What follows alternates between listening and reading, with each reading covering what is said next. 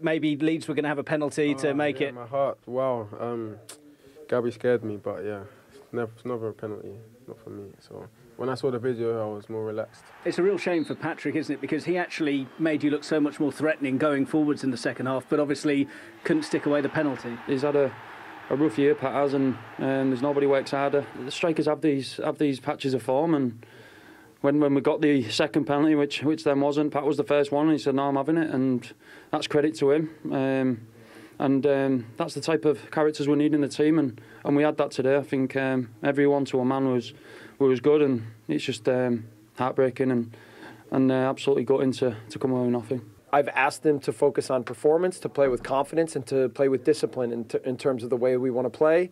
And you see when we do that, that we can be a very good team. This is the best team in the league. I think they've been marching through the league pretty easily.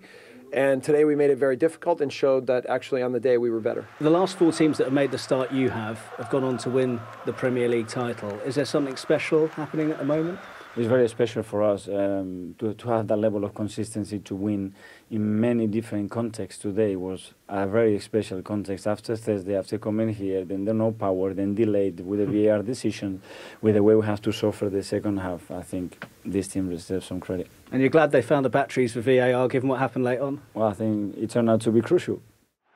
It, it did. We got there in the end. Um, uh, they were under the pump for a lot of that game, were Arsenal. And Mikel Arteta also said after it had probably been their biggest test so far. So they do deserve a lot of credit for coming through that. certainly they played with, with a lot of spirit, with a lot of grit, backs to the wall. Um, Leeds were magnificent, certainly in the, in the second half, but the quality from Saka for his goal was, uh, I mean, the kid is just fantastic. He's the most creative player that, since Arteta's been there, everything seems to go through him. I know Jesus is the new story, but Saka just gets better. Odegaard loves that little slot in there, and Arsenal are trying to get it out. It's come from Rodrigo, which is a plus for Arsenal. And once he gets into there, it's just a little give and go, and he's waiting. He just pins the fullback, plays it in behind, and look at this for a finish. And I've seen him sky a few of these recently. So he's certainly meant this. He's been practicing it. That's that little area there for Odegaard. He does that every week. Little running off the ball. He's looking, he's just waiting, and then puts the burners on, and he settles himself nicely and just puts it into the roof of the net. So that's a top level finish. And really, that was the difference in the end because the second half was then a completely different game from the point of view of Leeds. It, it really did turn on Patrick Bamford coming off the bench. Well, go on then. You've, Well, you, you, he- you, you've combined both your pieces of analysis in one Perfect. answer. So well, I just, I just think that he, if he could play every week, then Leeds would be certainly somewhat higher in the mm, table. definitely. I just felt sorry for him today a little bit. Of course, I'm sitting there as an Arsenal former player, hiding behind the sofa at times because it was that good. This was only a minute or so. He's come off the pit, off the bench, a minute or so in. You guys were all screaming because you're not Arsenal fans, but I knew we'd pushed him, and in the end, you know that was the case. But look how expertly they press. It's really brilliant the way they do this. Aaronson there uh, feeding him uh, Bamford again. This comes back to him, and I just feel here he's got to hit this first time. Just nitpick him, but I think look, you see the frustration with him. But he's a part of this press to get this ball back, and Arsenal was just playing into their hands a little bit. It's a ferocious atmosphere there. Again, I think he maybe could have hit that slightly earlier, but Ramsdale comes out brilliantly to smother the problem. I haven't seen anybody give these two central defenders this amount of problem, to be fair to him. Again, look at that. Gabriel gets in the way and, and they clear up. And this one, great movement again. I wonder if Saliba there, a little tug on him. I wonder if maybe he should, could he go down? Perhaps if he had gone down, he'd have got a foul, wouldn't If he? he'd gone down, well, he's off. Gabriel's Yeah. off there at that point. I mean, he was sent off again, actually. Well, that was Saliba at that time. But lovely little layoff again. And again, this is, look, that's Summerville coming off the bench should be putting that away. So it's Leeds. But, I mean, they're the sort of games, if you want to be champions or you want to challenge to be champions, you have to get points and, and get a win. And that was a brilliant result for Arsenal today. His, his- stats, as we saw there, were fantastic for Patrick Bamford. And yeah, he had some chances and he, he missed the penalty as well. But because of the injuries he's had, I mean, you can see what's there. It's just about getting up to match speed, isn't it? He looks fit enough. I mean, his confidence a lot of the times with strikers. They get a couple of goals and then they, they feel more comfortable. He, he just seemed to take too many touches at times, trying to get that perfect finish. Whereas when you've been playing and you've got a bit of rhythm, you, you're getting shots off much more quickly. But Leeds have got to turn those good performances into some points sooner rather than later. Because uh, they did the same for uh, the majority of the game against Palace last week, played with a good intensity, made some chances, and ended up losing the game. Did you see a difference, different resilience and fight in Arsenal? It's been there all season, chappers. When you go to Brentford and you win a game 3 0 comfortably, they've beaten Spurs and Liverpool recently at home, but this is one you go to. It's a young group. When you go to Elland Road, I always found that a ferocious atmosphere to play in really, really difficult. Certainly when they're playing into that main core fans as they were second half, and they stood up to that, and that was an outstanding result. Here in Philadelphia, and he, like us, have been watching these games on this Sunday, not just significant at Anfield, but all across the Premier League. Uh, as Shay was mentioning, nil-nil uh, at Old Trafford, another win for Chelsea. Uh, Aston Villa's four-game unbeaten run over at Villa Park. Arsenal, which we're going to show you in a second, nine wins out of their first 10 games for the first time in their top flight history at Leeds, and 1-1 Southampton against West Ham. Well, it was eventful all day at Elland Road. They started for 68 seconds. They had a 38 minute delay uh, because of the goal line technology power failure, and the players had to come back out for a mini warm up. Then we had a few VAR situations as here as, as well, Shay, only after Saka had given Arsenal a lead with what was the match winning goal in the end. Yeah, I mean, it's a good finish now. We talk about Meslier, the goalkeeper. Does he go down a bit early? But it's a it's a real powerful strike, and from that distance, Steve, sometimes the goalkeeper's got very little chance to react. We see it. We see this. I think it's the second half when there's a penalty given, and, and obviously Bamford steps up and, and, and, pulls his penalty wide. So it's Leeds had the opportunity to get a draw at least out of the game, but you know it's a poor penalty from Bamford. If that wasn't enough, Bamford thought here he had a, another opportunity. Gabriel was shown the red card. Penalty was awarded. Then the VAR had a look at this and rescinded it to a yellow card at an Arsenal free kick. It's been an eventful day, hasn't it? It has, yeah. Lots of VAR decisions. Uh, referees have, have, you know, and sometimes it's not their fault. Sometimes it's just one of those weekends where they get a few uh, decisions to make that might be tricky. Um, probably think that was fair. It wasn't a real forceful. I did think he tried to sort of flick him um, with his foot, so it was probably fair. But yeah, referees in the headlines this weekend. Some right, some wrong decisions, but overall it's been very entertaining. Okay, let's see what the Arsenal manager thinks of it all. Here is Mikel Arteta. We were exceptional in many moments. I think we should have put the game. Um, two or three nil up. We didn't do that, and then the second half was a different story. Credit to Leeds, the way they came out in the second half, they created this problem. We made so many easy errors and giveaways in really dangerous areas that put us under trouble, and then we never generated any momentum, any control in the game. Very different to the to the first, but uh, I just love the the commitment, the the relentless and, and the passion that the team played to somehow find a way to win again. It was a really unusual start to the delay with the suspension of the game. How do you feel your players cope with that? We had to adapt. Obviously, we are not used to that, and uh, it changed a little bit our routines. We tried to to do it the best possible way, but I think we started the game really well. Yeah, they had a few challenges today, and yet again, Arsenal have overcome them. And as I say, they've won nine of their first ten games for the first time in their top flight history. What do you make of what Mikel Arteta has done and continue to doing, Rafa? I think they are doing well analyzing the games, not just watching the games, no, analyzing the games. They're doing a lot of things right. So they press high, uh, they have the possession, they move the ball very quickly. They have uh, light players, very dynamic up front, and as soon as they give the ball away, they press and they regain the ball uh, quickly. They have uh, good players in 1v1 situations. They play wall passes, so a lot of uh, good things, and the defenders are very high. He said that, and I was taking note of that. We made easy errors in dangerous areas when you are doing well, when you have good players, you can take the risk. And De Bruyne was talking about that before. You can take the risk in the last pass. They can do that because they are so quick when they go to press. They have uh, so much pace in attack. And they are now uh, mentally ready. It's like when Manchester City is doing well and when Liverpool was doing well. They go and they press quickly. And because you are on top of the other team, you regain very high and then you create more chances. So that is what they are doing now. A lot of teams, they play from the back because they are so quick regaining. The other team is wide open, and then they create more chances and they score more goals. Is he an example? Money, uh, don't get me wrong, but they were supporting him, and he was doing well. And at the end of the day, are, uh, the value of the of the team, the players, the club is much better now.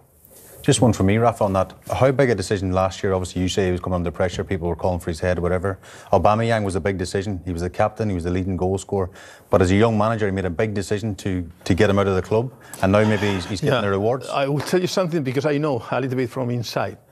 I think he was trying to support the player as much as he could, and after he couldn't, and that's it. And he has to make a decision. Are people talking about Arsenal enough? Four points clear of the reigning champions. Ten games in. Possibly after today, people will be thinking, hang on, four points is a nice little cushion.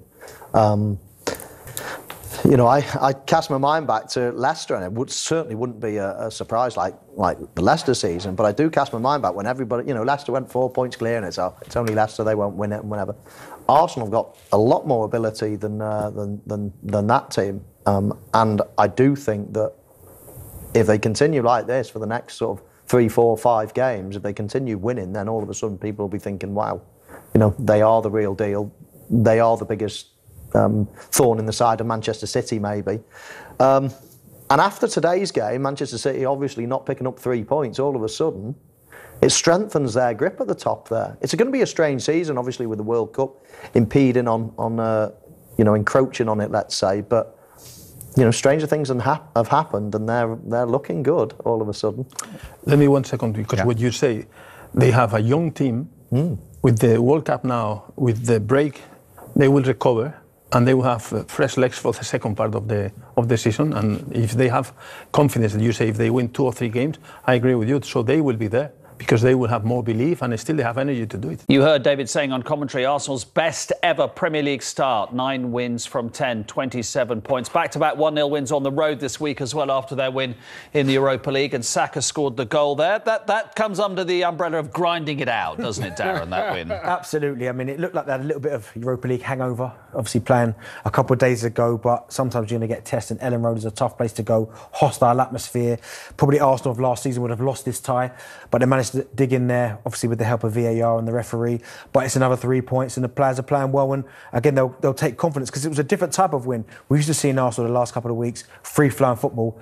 Today they have to dig in and, and grind out a result, and they managed to do that. Yeah, four goals for Saka this week because he scored in the week, scored a couple against Liverpool. And I think if what people are looking for is to add goals, isn't it, regularly Yeah, to his game, which yeah. is pretty impressive as it There's, is. there's not a lot that he can't do, to be honest with you. He works really hard for the team, backwards, forwards, down the right hand side.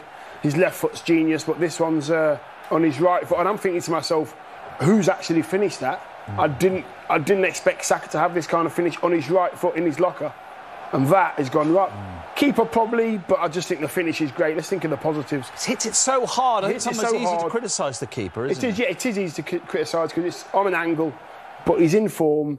He's doing everything he needs to do, and he's ticking a lot of boxes: goals, assists, hard work. That's his spot now. That right, that right hand side, his spot. Mikel Arteta admitted Arsenal were pretty good first half and pretty average second half, and they needed VAR to come to their rescue. And the referee, Chris Wright. Let's take this chronologically because there's quite a lot in here. So, and it's all to do with Patrick Bamford. Right. First of all, he thinks he's equalised for one-one. We, we, we may there may be some discrepancy in the studio about this decision. Yeah, he, he does think he, he's equalised for 1 1, but the whistle has clearly gone before the, the ball goes in the net. And he actually points at his chest and says, I didn't handball it. But when we, when we look at this, um, we can quite clearly see there's a foul. Darren will disagree with me, he doesn't Yeah. think it's much of a foul. But he actually does foul the Has he not just defender. eased the defender out of the way with a good and clever use of body weight? He eased him out? No. No. That's, that's what it is, Pook. Is it's clever from Gabriel because he's gone up too early. He knows he can't win the header. He's felt a little bit of contact on his back. Like, no, he's- I can't win it. I mean, it's not even a push, is it? I mean, anywhere else on the pitch, that's not a foul. see, they play see- on. Yeah, I, I, think I think it's a foul.